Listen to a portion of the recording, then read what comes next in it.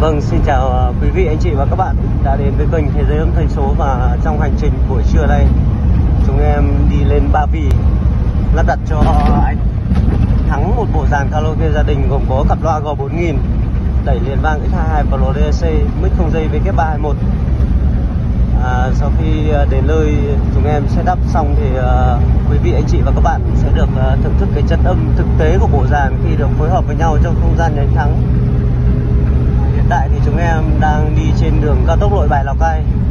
Theo định vị thì ờ, cách nhà anh thắng khoảng ờ, 40 km nữa. Và mời quý vị anh chị và các bạn sẽ cùng trải nghiệm cái hành trình lắp đặt trong buổi thứ hai đầu tuần ngày hôm nay của chúng em.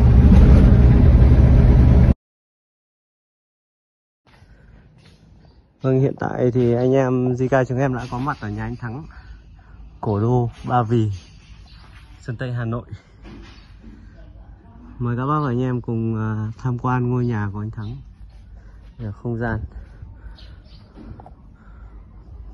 Một căn biệt thự, nhà vườn, Cạnh sông rất mát mẻ và thoáng.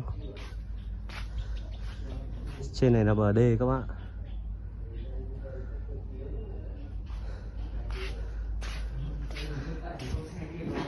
Con xe của em em đi cao tốc nội bài Lào Cai mà em đi mất tiếng rưỡi anh ạ. À. Đây là không gian bên trong nhà anh Thắng ạ. Đây là chị là vợ anh Thắng. Và Trước anh Thắng có dùng qua bộ âm ly Loa BMB bốn loa mà không đáp ứng nổi như yêu cầu nghe nhạc anh.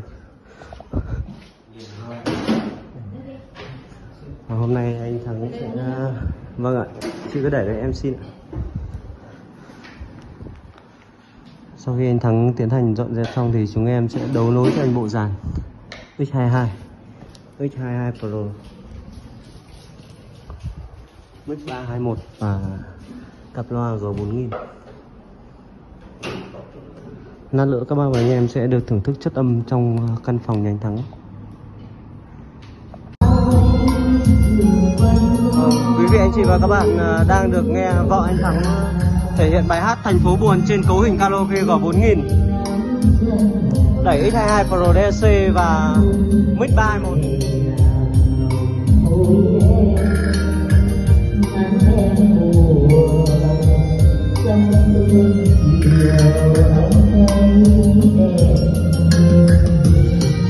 Chị thấy mic có nhẹ không? Mic có nhẹ không?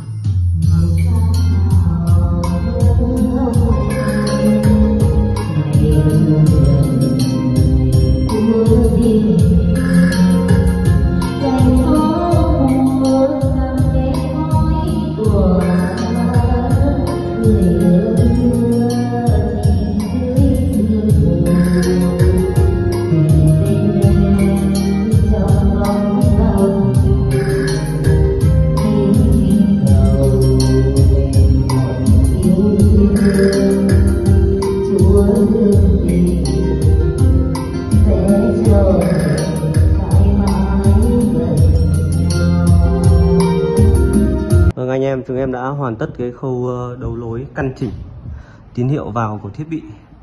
Và anh Thắng cũng đã nghe thử và anh cũng đã hát thử bài karaoke thì anh có thể chia sẻ cho anh em yêu âm thanh được biết là cái cảm nhận của anh về cái chất âm của bộ dàn ấy anh Thắng. Mới nghe thì cảm thấy cũng được.